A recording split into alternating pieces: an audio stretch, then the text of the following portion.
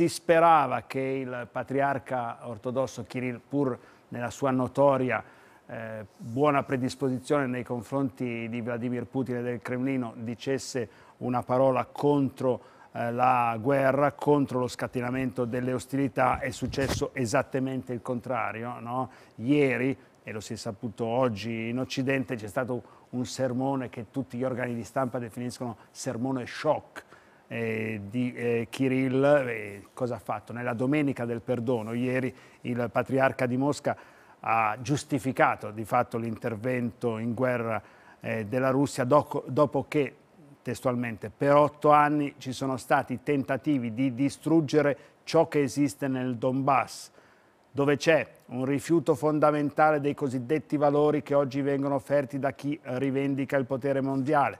Per Kirill oggi esiste un test per la lealtà a questo governo, una specie di passaggio a quel mondo felice il, felice tra virgolette, il mondo del consumo eccessivo, il mondo della libertà visibile. Sapete cos'è questo test? È molto semplice e allo stesso tempo terribile. È una parata gay. Ora, è evidente che eh, Kirill mette insieme tutte quelle che sono le modalità eh, del nostro mondo, della democrazia liberale, della Europa occidentale e dell'Occidente in contrapposizione con la tradizione eh, certo. della Santa Madre Russia e dell'Est Europa.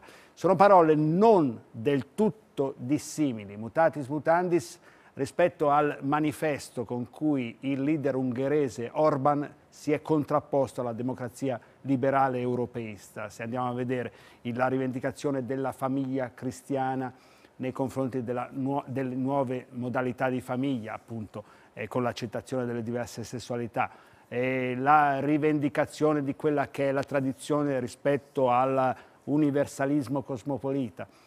Questo attaccamento alla tradizione però arriva a giustificare un intervento armato e questo, eh, diciamoci francamente, è dalla seconda guerra mondiale che non lo vedevamo.